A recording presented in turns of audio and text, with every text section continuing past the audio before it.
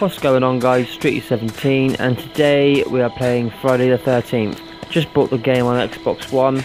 Um, I've been playing Dead by Daylight on the PC which is a very similar game but I did like the look of this one so I went and got it today. I've tried to go online, can't go online, they've the servers they haven't sort of done them up properly yet. So basically what I've done is uh, message a few people on a few forums, got their gamer tag, set a private match up and here we are now. Uh, the main bit of the game, basically, you've got a car in the middle on this map. Uh, you have to collect the key, petrol, and a car battery to get the car moving, so you can escape. But you've got to do that before Jason, or whoever's controlling Jason, comes and kills you. Um, yeah, so I'm just doing a lot of gameplay on this game. Uh, so the gameplay in this one won't be as great. I'm just sort of learning out the controls, what to do, etc. But if you do like the game or if you've been having trouble getting online, just in the comments below, just tell me what you think of the game and have you got online yet? It might just be me, but a lot of people are having trouble. So yeah, just hit that like button, subscribe for more Friday the 13th gameplay, and I'll see you on the next video.